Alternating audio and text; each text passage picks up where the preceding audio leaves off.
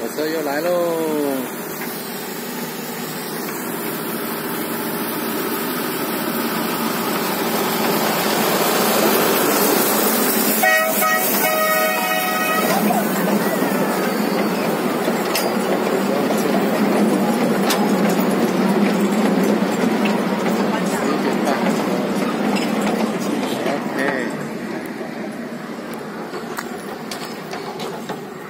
São Paulo. 감사합니다.